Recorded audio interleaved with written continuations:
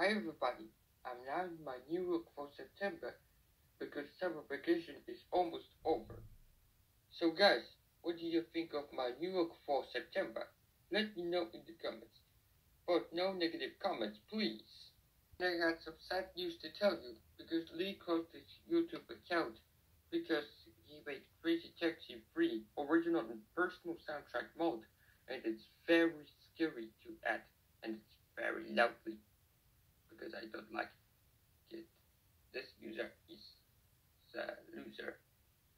So guys, if you are watching this, Lee closed his YouTube account four days ago.